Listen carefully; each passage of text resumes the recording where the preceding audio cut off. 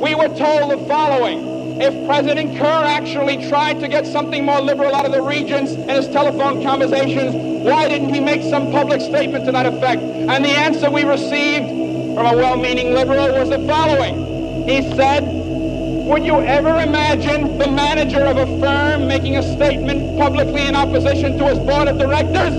That's the answer.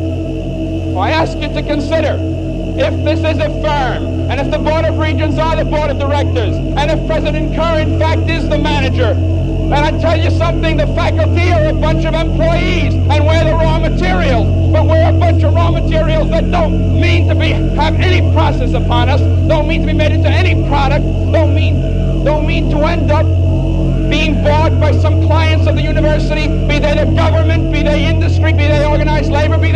they anyone, or human beings. There's a time when the operation of the machine becomes so odious, makes you so sick at heart that you can't take part. You can't even passively take part. And you've got to put your bodies upon the gears and upon the wheels, upon the levers, upon all the apparatus, and you've got to make it stop. And you've got to indicate to the people